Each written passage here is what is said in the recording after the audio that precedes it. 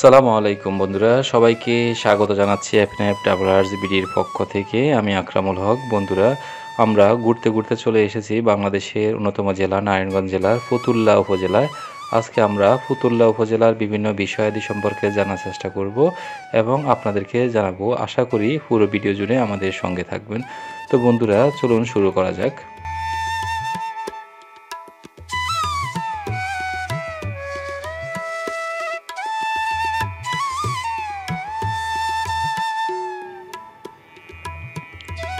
ফতুল্লা বাংলাদেশের নারায়ণগঞ্জ সদর উপজেলার একটি অন্তর্গত থানা, যার অবস্থান নারায়ণগঞ্জ সদর উপজেলার একটি থানা ফতুল্লা।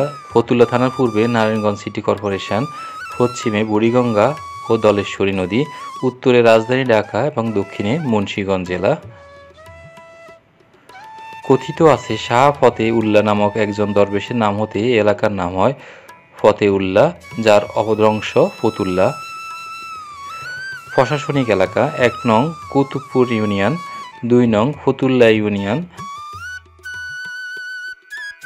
তিন নং এনায়েতনগর ইউনিয়ন, চার নং কাশীপুর ইউনিয়ন, পাঁচ নং বক্তাবুল ইউনিয়ন, ছয় নং আলিরটেক ইউনিয়ন। ফতিল্লা থানার ইতিহাস। কথিত আছে যে মধ্যপ্রাচ্য থেকে ধর্মপ্রচারক শাহ ফতেউল্লাহ এই অঞ্চলে আসেন। তার নাম থেকে ফরগনা নামে পরিচিত এই এলাকাটাই নাম হয় ফতুল্লা। দিল্লি সালতানাতের সোনারগাঁও প্রদেশের রাজধানী ছিল ফতুল্লার অদূরে নারায়ণগঞ্জ জেলার সোনারগাঁও উপজেলায়।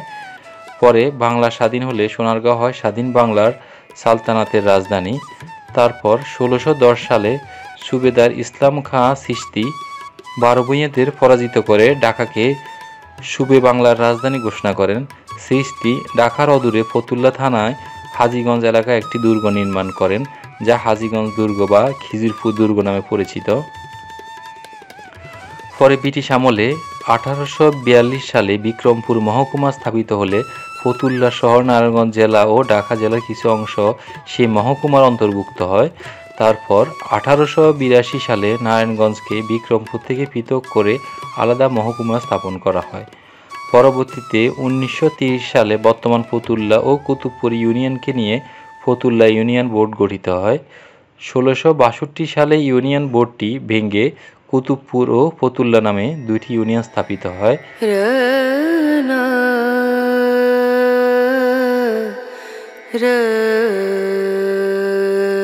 তার আগে কাশীপুর ইউনিয়ন স্থাপিত হয় উনিশশো তেতাল্লিশ সালে।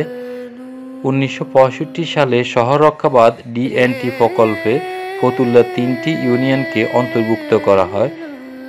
পরে উনিশশো একাত্তর সালে মহান মুক্তিযুদ্ধে ফতুল্লা অনেক হতাহত হয়। বাংলাদেশে স্বাধীন হওয়ার পর ফতুল্লা নানা শিল্প প্রতিষ্ঠান নির্মিত হয় এবং ফতুল্লা পরিণত হয় বিখ্যাত শিল্প নগরীতে জনসংখ্যা তথ্যপাত্য ফতুল্লা থানা দেশের অন্যতম জনবহুল থানা। ফতুল্লা জনসংখ্যা সাত লক্ষ বিয়াল্লিশ হাজার নয়শো ছিয়াত্তর জন। ফতুল্লা থানার আয়তন পঁয়ষট্টি বর্গ কিলোমিটার। জনসংখ্যার ঘনত্ব এগারোশো চারশো তিরিশ জন প্রতি বর্গ কিলোমিটারে।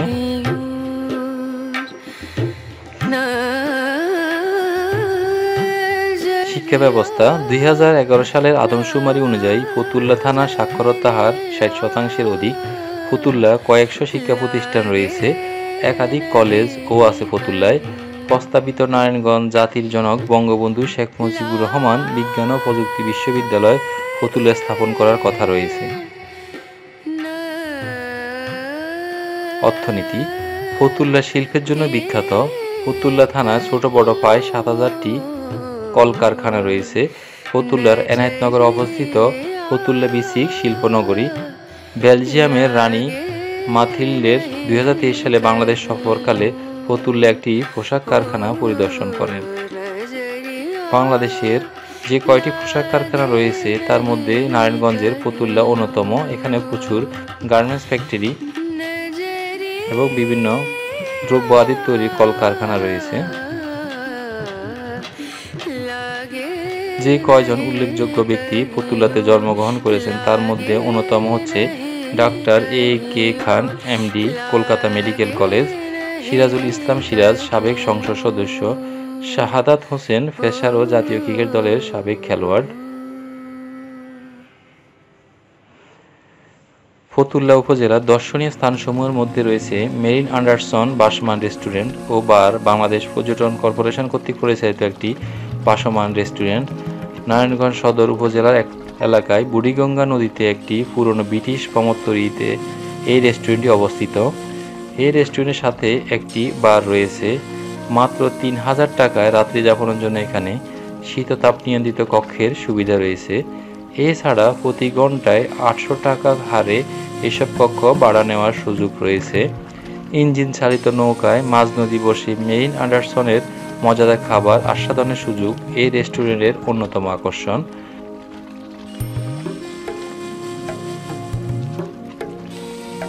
ঢাকা শহরের কেন্দ্রস্থল হতে এই ব্যতিক্রমী রেস্টুরেন্টটি মাত্র বিশ কিলোমিটারের মধ্যে অবস্থিত হওয়ায় এটি ইতিমধ্যে একটি আকর্ষণীয় পর্যটন কেন্দ্রে পরিণত হয়েছে।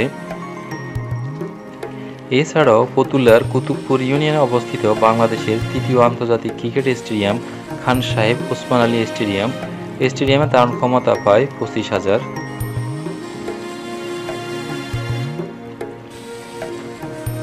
ফতুল্লা যে কয়টি ইউনিয়ন রয়েছে, তার মধ্যে অন্যতম হচ্ছে ফতুল্লা ইউনিয়ন। ফতুল্লা ইউনিয়ন বাংলাদেশের নারায়ণগঞ্জ জেলার নারায়ণগঞ্জ সদর উপজেলার একটি ইউনিয়ন। এটি উনিশশো তেইশ সালে ব্রিটিশ সরকার কর্তৃক প্রতিষ্ঠিত হয়। উনিশশো সালে ব্রিটিশ সরকার ফতুল্লা থানার বর্তমান ফতুল্লা ও কুতুবপুর ইউনিয়ন পরিষদ এলাকাকে নিয়ে সর্বপ্রথম ফতুল্লা ইউনিয়ন বোর্ড গঠন করে। পরবর্তীতে উনিশশো আটচল্লিশ সালে পাকিস্তান সরকার তার নাম পরিবর্তন করে ইউনিয়ন কাউন্সিল রাখে। এরপর উনিশশো বাষট্টি সালে এই ইউনিয়নের আংশিক এলাকাকে কেটে নিয়ে কুতুবপুর ইউনিয়ন গঠন করে। তখন ফতুল্লা ইউনিয়নের সীমানা ছোট হয়ে যায় এবং এখানে এগারো গ্রাম এবং দশটি মৌজা সীমাবদ্ধ থাকে। এরপর উনিশশো বাহাত্তর সালে স্বাধীনতার পরবর্তী সময়ে ফতুল্লা ইউনিয়ন কাউন্সিল ভেঙে ফতুল্লা ইউনিয়ন পরিষদ গঠন করা হয়।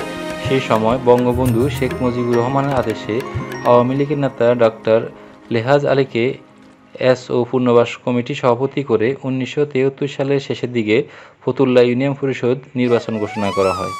এই নির্বাচনে ইউনিয়নের তল্লা গ্রামের মোহাম্মদ নূর হোসেন সাধারণ ভোটে নির্বাচিত হয়ে ফতুল্লা ইউনিয়ন পরিষদের চেয়ারম্যান পদে দায়িত্ব গ্রহণ করেন। তিনি টানা উনচল্লিশ বছর ফতুল্লা ইউনিয়ন পরিষদের চেয়ারম্যানের দায়িত্ব পালন করেন। তারপর দুই হাজার এগারো সালে পাঁচই অক্টোবর হৃদরোগ আক্রান্ত হয়ে নূর হোসেনের মৃত্যুর পর চেয়ারম্যান পদ শূন্য হয়। পরে তখনকার সদর উপজেলার নির্বাহী কর্মকর্তা এবং মোতাহার হোসেনের তত্ত্বাবধানে ও স্থানীয় সাংসদের উপস্থিতিতে ষোলোই মে দুই হাজার এগারো সালে ইউনিয়ন পরিষদের সদস্যগণের প্রত্যক্ষ ভোটে খন্দকার লুৎফুর রহমান নির্বাচিত হন বর্তমানে তিনি ভারপ্রাপ্ত চেয়ারম্যান হিসেবে দায়িত্ব পালন করছেন। ফতুল্লার দর্শনীয় স্থানসমূহের মধ্যে রয়েছে শাহ ফতেউল্লাহ মাজার শরীফ। ফতুল্লাহ ইউনিয়নের একটি গুরুত্বপূর্ণ এবং উল্লেখযোগ্য দর্শনীয় স্থান হচ্ছে এটি। প্রতি বছর এখানে বার্ষিক দোয়া অনুষ্ঠান পালন করা হয়ে থাকে। মুসলিম সম্প্রদায়ের হাজারো মানুষ এই দোয়ায় অংশগ্রহণ করেন।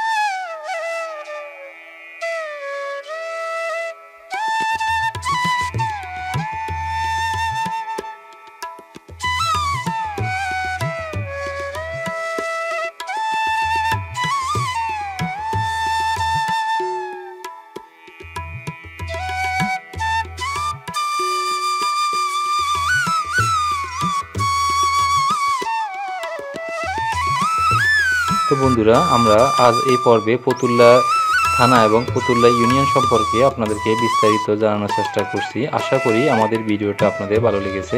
যদি ভালো লেগে থাকে, অবশ্যই কমেন্টস করে আমাদেরকে জানাবেন। আর আমাদেরকে কোনো পরামর্শ দেওয়া থাকলে তাও আমাদেরকে কমেন্টস করে জানাবেন। আগামী পর্বে আমরা আপনাদেরকে নিয়ে যাব নারায়ণগঞ্জ জেলায়, নারায়ণগঞ্জ জেলা সম্পর্কে বিভিন্ন বিষয়াদি আপনাদেরকে জানাব। আশা করি সেই ভিডিওটা আপনারা দেখবেন। সেই পর্যন্ত সবাই ভালো থাকবেন, সুন্দর থাকবেন, সুস্থ থাকবেন। আল্লাহ হাফেজ। আসসালামু আলাইকুম।